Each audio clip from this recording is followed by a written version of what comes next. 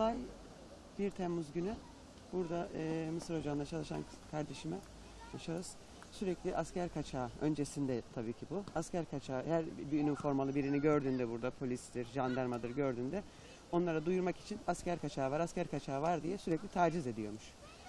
Olay bundan ibaret oluyor. Yani bu böyle başlıyor olay aslında. Kavganın sebebi bu. Ee, sonrasında e, kardeşim artık bunu sürekli onu uyarıyor. Bana bu şekilde davranma diye. Akabinde e, o gün burada şahıs bütün akrabaları, ailesi, eşi, dostu yani kendi aile bireyleri aslında annesi babası dahil bunlar bunlara 80 yaşındaki insanlar da dahil olmak üzere burada bir pusu hazırlıyorlar. Sonrasında şahsın yeğeni kardeşimi tekrar arıyor kaleye çağırıyor. Kaleye gel görüşelim diyor. Kardeşim de geliyor. Geldiğinde burada 10 kişilik bir grup burada kardeşime pusu kuruyorlar. Ve hep beraber hiçbir gerekçe yokken kardeşime hep beraber burada e, saldırıyorlar. Akabinde e, tabii ki gidiyorlar karakolda e, ifadelerini veriyorlar. Hastanede darp raporları alınıyor. Akabinde kardeşim tekrar e, bu olaydan 3-4 saat sonra gün içerisinde tek rahatsızlanıyor. Diğer abisinin yanına gidiyor. Ben kalbim sıkışıyor diyor. Bu şekilde kendi imkanlarıyla hastaneye gidiyor. Hastanede e, ben de işten çıktıktan sonra hastaneye gittim yanına kardeşim. E, hastanede e, EKG çekiliyor. Kan kardiyak yapılıyor. Herhangi bir sıkıntı gözükmüyor diyor doktor beyler. Ee, biz bekledik. 3 saat geçti. Tahliller tekrar yapıldı. Bizi taburcu edeceklerdi. Taburcu etme işlemine başladılar. Kardeşim yataktan kalkmıyor. Ben yanındayım. Kardeşim, diğer kardeşim geldi.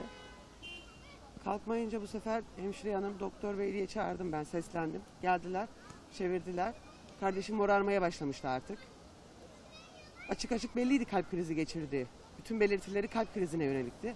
Ama hiçbir şekilde bir kardiyoloji uzmanı çağrılıp baktırılmadı. Akabinde e, kırmızı alana alındı kardeşim. Kırmızı alanda 20 dakika geçtikten sonra bize kardeşimizi kaybettiğimizin haberini verdiler. Raporlarımız, otopsi raporlarımız geldi. Tamamen bu olayla alakalı olduğu, e, kronik kalp rahatsızlığının illiyet bağı olduğu, yani bu olayla ilgili. Bu olayı gerçekleştirenlerin tamamından, en küçüğünden en büyüğüne kadar, hepsinin mahkeme sonuçlanıncaya kadar tutuklu olarak yargılanmasını istiyorum. Kesinlikle bunun yapılmasını istiyorum. Biz başka şekilde rahat edemeyeceğiz. Kesinlikle biz yani biz yaşamıyoruz yani biz. Biz yaşamıyoruz. Beş ay oldu. Tabii ki biz adalete güveniyoruz. Adalet gereken her işlemi yapacaktır. Ee, bu olayı yapan kişiler de kendilerini bu şekilde etrafa bizimle alakası yok. Ee, kaçak alkolden öldü diye kendilerini aklamaya çalıştılar. Onlara sesleniyorum buradan. Benim kardeşim sizin yüzünüzden öldü. Sizin darbelerinizden öldü. Siz bunların cezasını çekeceksiniz. Ben Türkiye Cumhuriyeti adaletine güveniyorum ve gerekli cezayı vereceklerine inanıyorum.